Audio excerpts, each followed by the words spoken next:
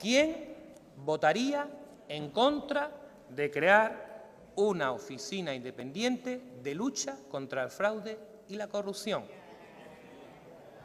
¿Saben la respuesta? Los corruptos. Queda rechazada la toma en consideración de la proposición de ley.